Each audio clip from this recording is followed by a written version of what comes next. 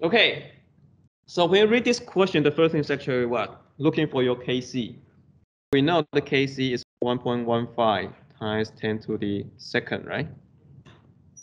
Can you use small x approximation? You cannot, right? Because it's between 10 to the negative 4 and 10 to the 4th. So we know small x approximation is not going to work. So that's the first thing that you need to know. Then we go to the second step, write down your equations, H2 plus F2. That gives you 2HF, right? And then we know when to do the ice table.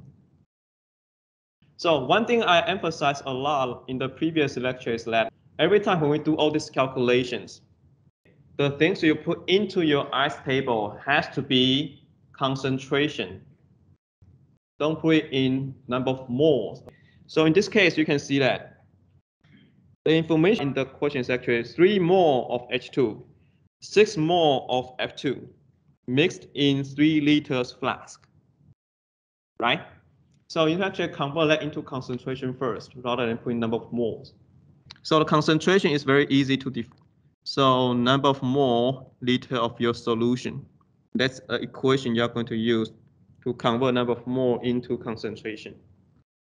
So in this case, in the initial conditions, you have three mole of H2, right? It's going to flow in into a three liter flask. Therefore, the concentration will be just one, right? Three over three equals to one. How about your F2?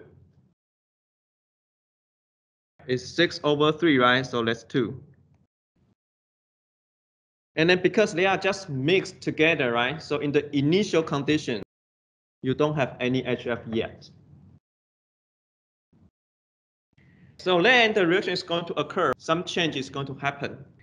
Right now, you have a lot of reactants, right? So some of the reactants is going to go to the product side. So assuming this X concentration of H2 has been consumed, then under this case, you know it's also minus X, right?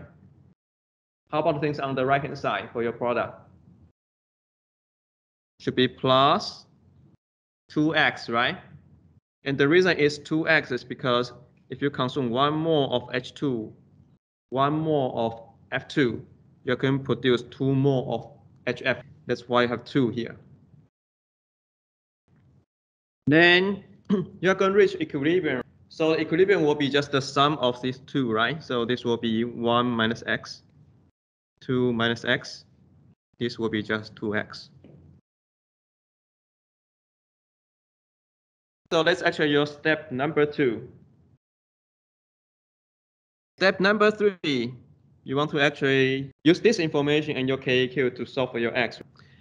So your KEQ is going to equals to HF concentration to the second power over H2 concentration to the first power, F2 concentration to the first power.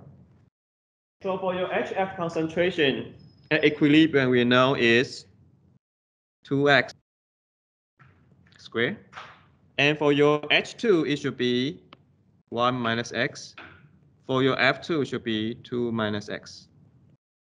Okay, and then these things equals to the Kc provided inside the equation.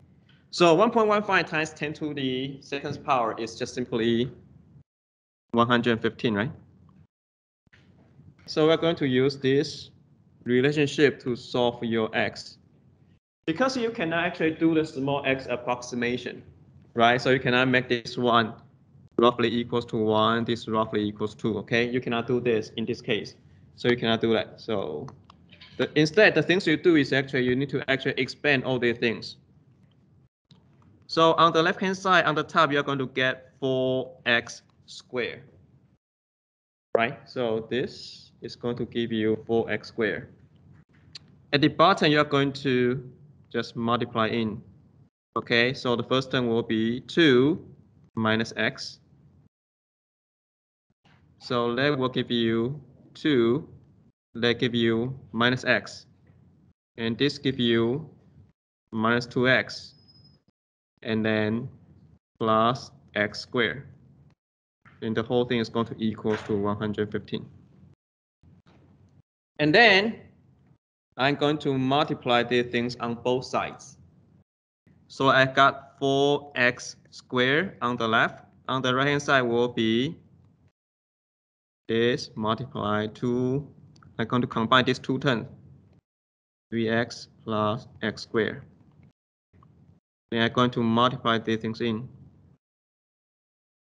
This is going, going to give me 330 minus 345x plus 115 x squared. Yeah, 230. Then I can actually move these things to this. Okay, so I can get 111 x squared minus 345x plus 230 is going to equal to zero. Then we can actually use the equations, right? Once you see this uh, second order polynomial equations, we know you can solve for your x. x is going to equals to right? So this is actually equation I provide in the handout sheet. So this equation you're going to use, where the A is going to equals to 111, B is going to equals to negative 345, C is going to equals to 230. Then you just plug all these numbers in into the equation.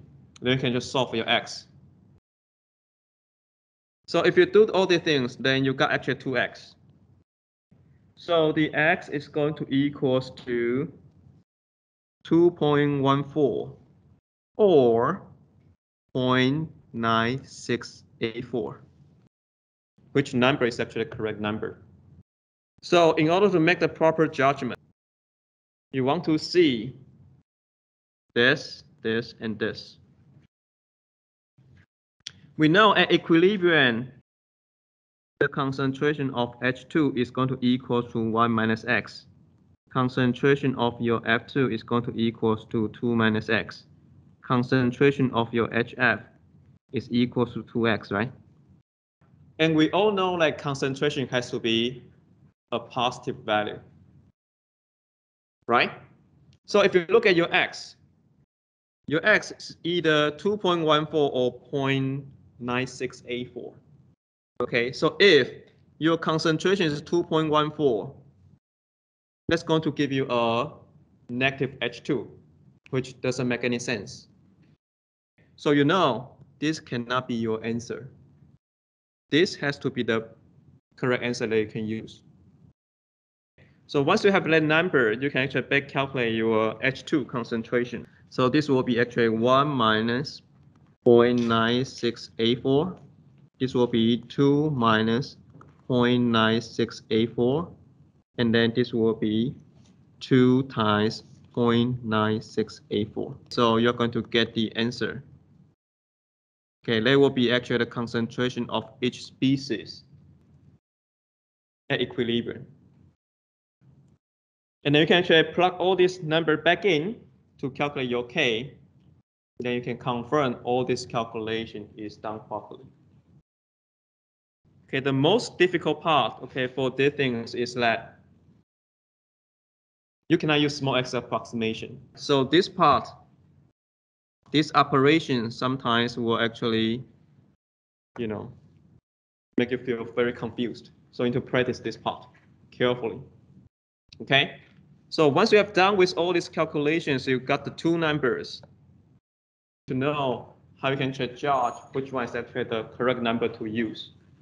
So these are the two most important part that students typically make mistake. But if you know these things clearly, then you should not you should be fine.